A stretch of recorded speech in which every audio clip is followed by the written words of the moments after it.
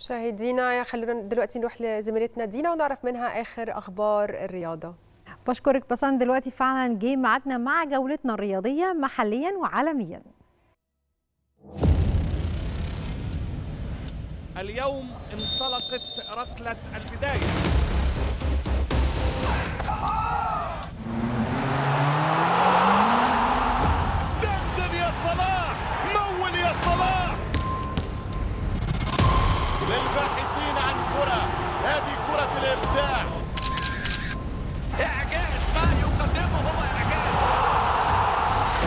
Swan! Oh, what's it goal!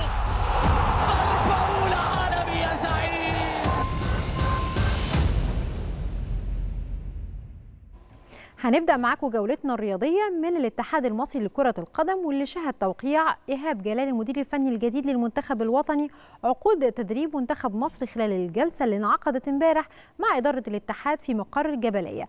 وقدم اتحاد الكرة اليوم إيهاب مدير فني ومعاه محمد شوقي مدرب عام وأحمد حسام مدرب وعصام الحضري مدرب للحراس. فريق رجال كرة اليد بنادي الأهلي فاز على الزمالك بنتيجة 32 31 وبكده بيتو- بيتوج بلقب السوبر الإفريقي اللي جمعهم على أرض النيجر.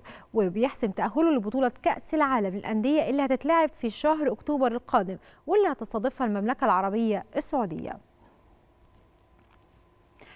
في الدوري الإنجليزي فريق مانشستر سيتي حقق فوز سهل امبارح على نيوكاسل يون- يونايتد بنتيجة 5-0 في المباراة اللي جمعتهم امبارح على ملعب الاتحاد ضمن منافسات الجولة 36 من مسابقة الدوري الإنجليزي Premier League وبكده بيحتل فريق مانشستر سيتي صدارة جدول ترتيب الدوري الإنجليزي برصيد 86 نقطة وبفارق 3 نقاط عن فريق ليفربول الوصيف برصيد 83 نقطة. أما نيوكاسل يونايتد ففي المركز ال 13 برصيد 43 نقطة.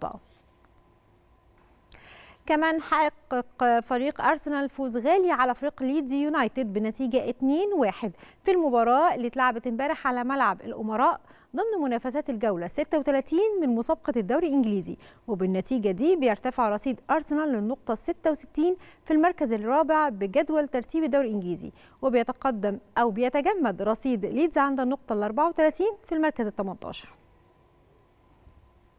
بالنسبة للدوري الأسباني فحسم فريق أتلتيكو مدريد موقعة ديربي مدريد. بالفوز على ريال مدريد بنتيجة 1-0 خلال المباراة اللي جمعت الفرقتين امبارح ضمن منافسات الجولة رقم 35 من الدوري الإسباني. وحسم ريال مدريد لقب الدوري الإسباني من الجولة اللي فاتت وبيتصدر جدول ترتيب المسابقة برصيد 81 نقطة. وبيحتل أتلتيكو مدريد المركز الرابع على جدول الترتيب برصيد 64 نقطة. وخطف إشبيلية التعادل من فريق فاياريال بنتيجة 1-1 في اللقاء اللي جمع الفرقتين امبارح ضمن منافسات الجولة رقم 35 من الدوري الإسباني الليجا. ورفع إشبيلية رصيده للنقطة ال 65 في المركز الثالث بجدول الترتيب. ورفع كمان فاياريال رصيده للنقطة 53 في المركز السابع.